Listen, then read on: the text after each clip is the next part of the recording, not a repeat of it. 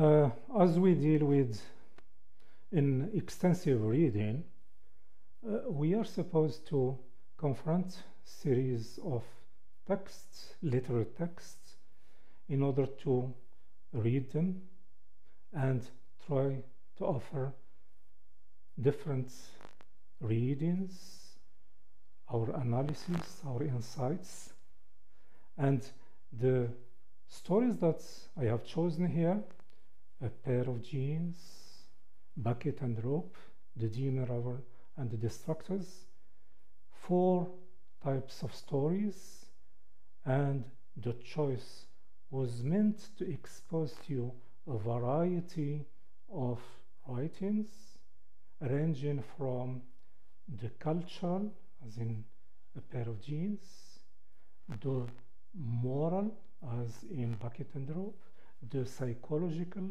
as in the demon lover, and the political, historical, social, as in Graham Greene's The Destructors. And this variety of text is meant to expose you to enrich your readings and your analysis. And as uh, a first story, A Pair of Jeans by Ghazala Shahraz, I introduce you this uh, type of writing which raises the point of, which is cultural. The writer herself, Ghazala Shahraz, who was of Pakistani origin but educated in Great Britain, uh, reflects some of the issues probably she lived in and uh, they are transmitted in her story, A Pair of Jeans. She was born in Pakistan and she was novelist and scriptwriter and lived in Manchester since she was nine and as a school teacher, lecturer in development officer and quality improvement manager. And now she is currently a, a college inspector and education consultant. And I have the chance and the privilege to invite her to our university and she met our students sometimes and we discussed some of the issues that she raises in her writing. As for her writings, she produced two novels, uh, The Holy Woman and Typhoon. And in these novels, she raises the same concerns, conventions, religion, patriarchy, women predicaments, and so on. So she's not far from the area that we have read in A Pair of Jeans. Short stories, elopement, the discovery, A Pair of Jeans, and she focused on issues facing young Pakistani Muslim women as they work and how to live in a world where traditional and Western values clash. So from this brief induction, you can guess what I am in, I am in at when I am analyzing a pair of jeans, woman and clash of cultures, and the meeting point, the meeting zone between traditions, between values, and between norms. and in a pair of jeans, as you have read it, Mariam discovers the major character that a seeming and uncoerced item of clothing can cause disorder, disaster.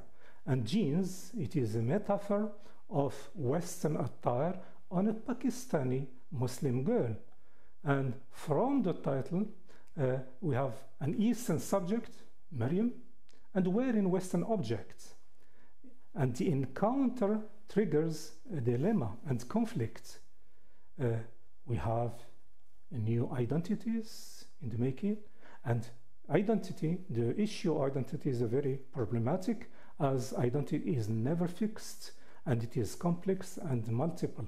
And, and I can refer you to Amin Maalouf's book In the Name of Identity, where he explains as an example where the complexity of identity, which is an amalgam of sources, linguistic, social, moral, intellectual, historical. So it is very, very fluid. It's never fixed.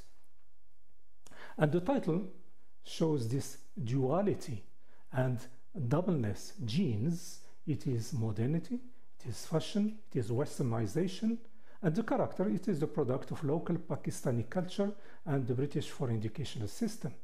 So we have a pair, so she's between, between two localities, geographies, cultures, generations, beliefs, norms, identities. And this is what the writer tries to raise, is that this conflict and this doubleness and the interculture is predominant and the culture of cultures.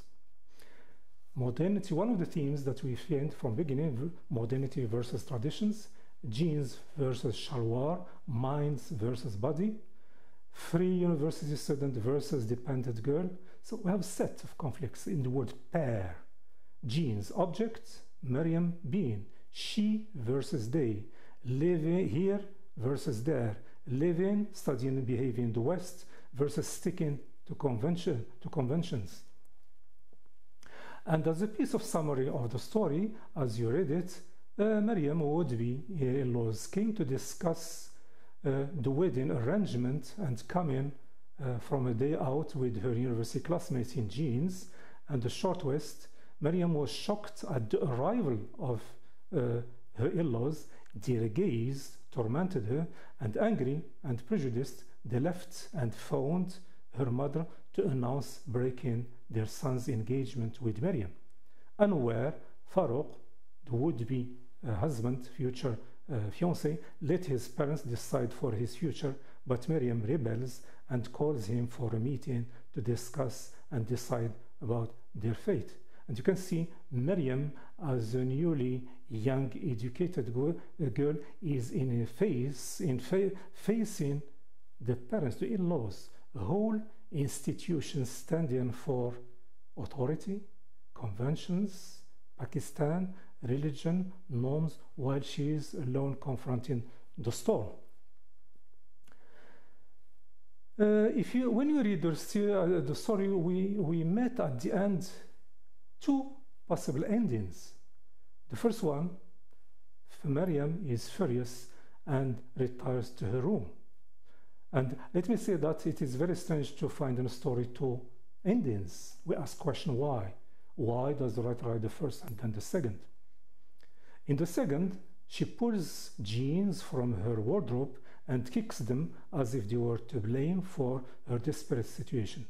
And the implication of science and engineers understand is that in the first ending, we find Maryam as the subversive, the uh, obedient, while in the second, she is another figure who is rebellious.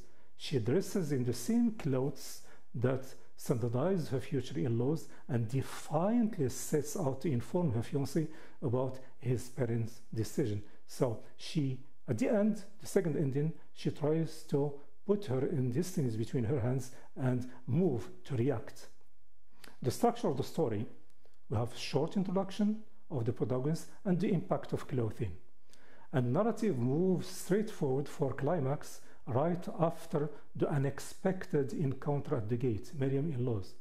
Uh, and by the way, there is a moment of the story we are focusing on a pair of jeans. And ironically, the in-laws met before Maryam in a meeting place with the shalwar. And that's the image that you have uh, of Maryam is that the woman who abides by the uh, Pakistani attire, they don't consider the human being and the values that this human being, but rather the uh, external attire that's stereotyping Maryam as a girl who is obedient and good. But to wear a pair of jeans, that's different. It is going beyond and far from the norms. And narrative moves straight for climax right after the unexpected encounter at the gate with Maryam in-laws. Confusion and anxiety among all the cutters, and they have tension. And narrative focuses on two different aspects, Miriam and the in-laws, that is Ayub and Begum. And another climax began when uh, Begum breaks the news of the broken engagement of Fatima, her mother. So the fatal news may causes Miriam's and Fatima's emotional collapse and leads to two endings. So we have two versions and difficulty to make a decision under the shock. So, and at the end, the reader is invited to contribute. And uh, of course, the majority are with the second. That is to say, uh, uh the story is open-ended and other options are possible and the reader may come up with different possibilities. So you can see that the ending, though we've made at the end that Miriam is going to put jeans and react to in-laws, we don't know what the consequences are, seeing that the dominant structure is that of the in-laws and it is an open-ended uh, story. Omniscient, for the narrative technique, we have the third person, the chronological linear progression, traditional movement of the story, visit of in-laws, leaving, discussion, end, and reaction. A brief return to the past, first meeting with products in a traditional attire, that was say shalwar. So Miriam for them is the, the girl who used to wear that shalwar at that meeting point, very traditional. Dialogue is absent, and that's one important factor of the story. Dialogue is absent, and that's what is needed in the story, in fact between the characters concerned, especially Maryam and, and Farouk. And that's what we have in the end of the story when Maryam is inviting Farouk to discuss. The discussion is needed.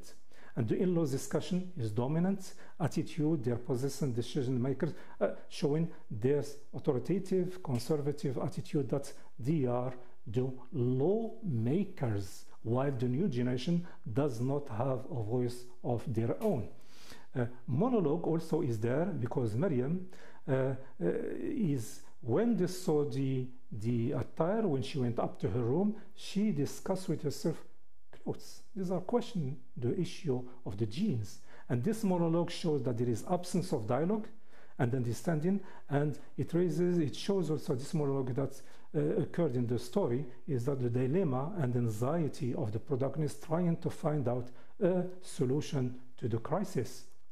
Sitting, first, it is a macro sitting, Britain, modern time, university. On the other hand, we have Pakistan, Urdu convention. It is a macro sitting, the West versus the East. But also, we have a micro sitting that is that of the Maryam and the family, they are set apart.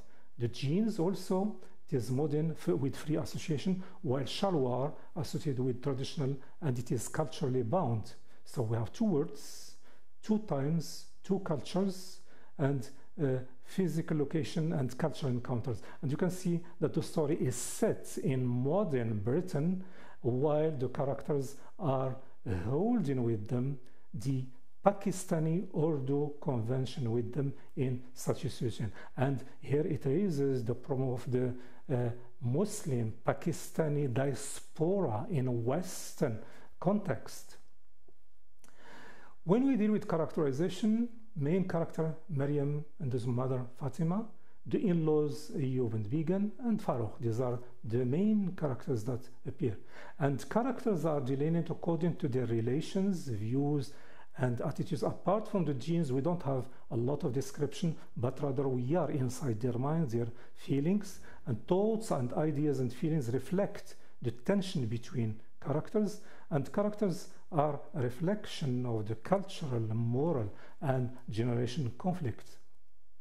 Miriam, as a major character, she is the protagonist, defined first relation to her gender, age, education, and culture and we can guess importance of a woman feminine writer giving value to a girl so probably we, there is a possibility of dealing confronting the story from a feminist point of view giving voice to women uh, also we have Maryam as a name has religious connotation and we know Maryam in the Quran an epitome of chastity and innocence in conflict and dilemma with the other's gaze. Very important, the name, the choice of the name say, is to focus on this purity and chastity of the character in the face of the storm of the other's gaze because the in-laws when they saw they stand for the norms and look at a girl with pair of jeans. So she's out of the norm. She must be punished. We have to break this. And chastity here we have similarity between laws and others gaze. The gaze is critical, the gaze is uh, uh, negatively presented in the story. So, so they are blind as to the internal beauty of, of Maryam. and now she has she's wearing jeans. Now tomorrow she's going to have a, a, boyfriend and so on and so on. So their mind goes far into other areas. So another thing is that Miriam is fatherless. Very important important here. And never father never shows up. We ask question why? And uh, the absence of the father uh, can uh, be explained first of all here in the story as need for protection while Maryam at the end is powerful. Ayub's uh, Farouk's father is authoritative. He doesn't have a voice, the authority of the father. Maryam does not, his father doesn't appear, but she has a voice at the end. Does the writer want to say that authority should be avoided? Does she ask the uh, authority of the father to be reduced. That's your point here. And that's what we have at the end. This is the logic of the story because alone she is going to face the storm of the in-laws. And Fatima, mother, she has she is a protective figure and sympathetic figure.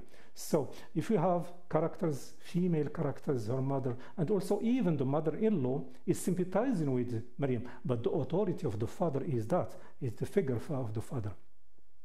So we have Maryam, we have two sides according to the Indians. So she's flat, static as to her acceptance and subservience and submissiveness uh, to the dictation of the in-laws, but she is round character and dynamic as to her rebellious attitude at the end, gaining self-confidence and deciding to decide for uh, her future. She called Farouk the birth, and the call is the birth of the new educated woman that challenges conventions. And the writer's point of view at the end is it a feminist? Yes, it's a feminist somehow because the girl is taking her destiny in her hand and she's going to decide about the fish. That's the positive, optimistic note that we have about the story. The in laws, Ayub and Pharaoh and uh, uh, Megan, they are flat, static, because from beginning until the end stand for authority, conventions, and fixed gaze of the others. So they are prototype of traditional family society that breaks development and change. Ayub, patriarchal, masculine, he has the last words, and that's where the writer introduced his criticism to the convention established in the uh, such society. Uh, it's the same thing when we read Qais Shahraz's novel, The Holy Woman, we'll find the importance of masculinity and how the father, in the absence of a brother, of, of a, a, son who is going to inherit, because in the novel, in the Holy Woman, the son who is supposed to inherit dies, and he, the daughter who remained is that the father is uh, afraid that the heredity, the heredity, the legacy is going to be to, to be transmitted to a man who is going to marry his daughter. So he decided to marry her to, to make her wear the, uh, the costume the, of the holy woman and they say I marry you to the Quran which doesn't exist something in the Muslim religion. So and she decide he decided to put clothes and uh, oblige her not to marry a man so as not to so to the the legacy and the heritage remains within the family which is uh, force reading or first use of the religion here. Ayub, as I said here, began is silent and submissive, as I said, because the father has and the husband has the last words. They have the power to choose and to break relation. What is uh, missing in these is Farouk, the son. He is flat, static, silent, and never seen or heard. It is the father and the mother who speak on his behalf is the prototype of an absent male due to family conventional attitudes, unable to choose, to speak or decide. And this is, as according to the text, it is an implicit criticism to the weight of tradition and patriarchy. When we uh, deal with the themes of the story, clash of cultures, identity, and call for change, as we are discussing here, mm, uh, clash of culture, it is one of the central themes which probably the writer faced herself as a Pakistani uh, uh, writer of Pakistani origin and the center forces of modernity versus forces of convention. Someone coming from a traditional Eastern context is going to live in a modern Western one. And the outcome of cultural encounters is this clash of culture if there is no uh, uh, tolerance and the way of trying to marry or to blend the two. Uh, instead of being a rich blending, it becomes an obstacle as we have it in the story here.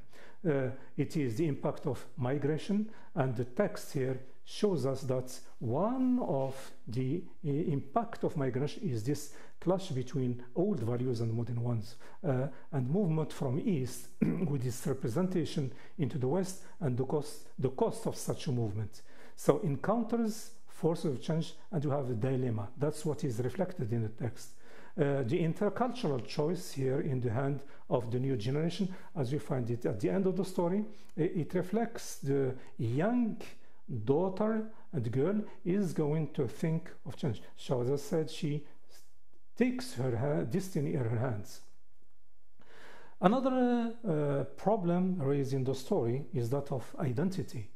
And I refer you again, uh, you have chance to read, for example, as an example, Amin Maalouf's In the Name of Identity, where he reflects on the complexity of this term, this concept here, and he questions this problem, is never fixed, but it is fluid through time and space, and as long as a human being is meeting others, is reading and, and then living with others, is acquiring new identities. So he's for the complexity, the fluidity of identity uh, in, in life. Uh, and as a concept, it is subtle and difficult to fix. Identities are not fixed and they are informed by many sources. And as we'll see here, uh, it, it, molded in, it is molded in different ways, and many factors shape Miriam's identity family, culture, gender, age, education, language, east, west. These are all uh, factors or components which make of Miriam the character we read is that we cannot say that this is this this this so it depends on which factors we are focusing on. And Maryam is in the process of acquiring a new identity as a meeting point between what she brought from her local culture and what she acquires from the next one and she is going to bring something new. It is never fixed and it is ever changing. Another important theme of the story it is a call for change. A story is an, out, an outcry for change on all levels. Cultural relativism. So we should not stick blindly to our cultures and uh, the importance is the marriage between culture in order to bring new. Cultures have been traversing worlds, times, spaces, histories, and we are the outcome of a mixture, of an amalgam of different cultures. Uh, intercultural negotiation as well, a gradual integration of the new generation, a patriarchal authority, the feminine voice and presence. So you can see that this story calls for change from on the level, on the cultural, on the patriarchal, on the feminine, on the individual character. Some of the general comments that we can produce how a person's dressing, clothing can change people perceptions of the t of them and cause major impact. As we'll see here that appearance also is questioned uh, and the discrepancy between appearance and the internal self is questioned here. Uh, a pair of jeans, uh, the symbol of westernization, and the Western world is seen as unscrupulous with lower moral code, with the decent lifestyle totally opposite to that of the traditional rich culture of their forefathers. So the pair of jeans raises this problem of the uh, attire and how it had an impact on people's perceptions. Uh, also, the dilemma of the Eastern females living abroad who are born there and in order to amalgamate in that country adopt their clothing styles considered to be more practical for every day. So very important that people acquiring, as I said, new identities as long they are living, and it is the new generation and the, the text calls for change. The females are in their social gatherings, for instance, holidays, weddings, funerals, and other events, they wear the traditional clothing of Pakistani females such as shalwar and kameez, as we have it in the story. When the in-laws saw Maryam, they saw in the traditional clothes, and it is part of the festivity. And this is due to the insistence of the old generation of parents who originally migrate, migrate from their home country to the Western countries uh, to uh, expect their female family members of having the traditional views of their origin homeland, despite the fact that the female has been born and raised abroad and may never even have visited parent country. So they ask them to uh, cope with tradition, though they were not born there.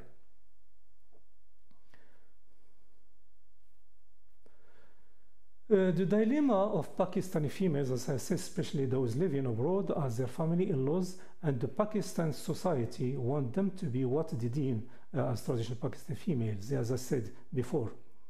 Uh, a pair of jeans is the symbol of Islamization and is held responsible for the whole situation, which is ironical. The taboo, the norm, convention, which is raised in the story, uh, showing part of body is considered to be highly offensive and intolerable in Eastern countries, both Islamic and even some of non-Islamic states. And Maryam herself was highly aware of it and uncomfortable wearing it, uh, and she was conscious of that and uh, conscious of breaking the norms according to her in-laws. So dress and clothing is uh, emphasized in the story as the source of trouble. And people and society are fixated on a person's clothing to perceive that individual's personality. Uh, people, also the text uh, raises the problem of people perceptions of that individual and how such a perception make it different uh, according to the people. So if you like here, reading a pair of jeans, we encounter the voice of a female writer who carries in herself this legacy of the doubleness, that is to say, being born in Pakistan, being educated in Britain, and uh, experiencing such a dilemma of carrying both sources, both traditions, both values, and the, the question is how to cope with these issues. And the story, a pair of jeans reflects.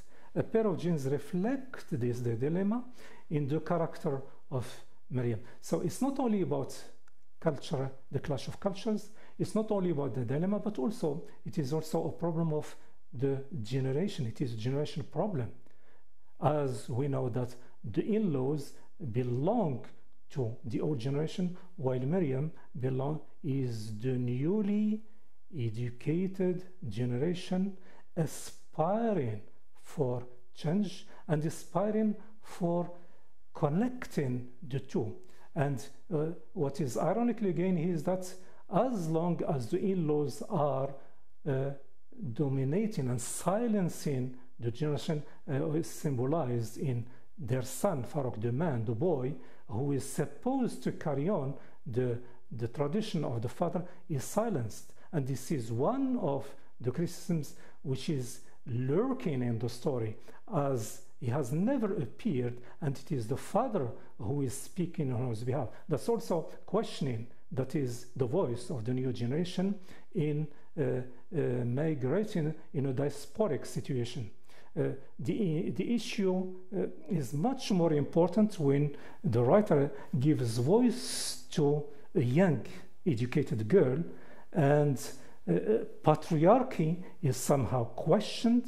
And much more that is that we move from the submissive, submissive character who is Miriam into a much more rebellious girl who is going to make the man speak because she calls Farouk and she decides to speak with him. So beginning of communication, probably is the key. One of the answers in the story is that speaking, talking, inviting the other with the boy to speak in order to make him change.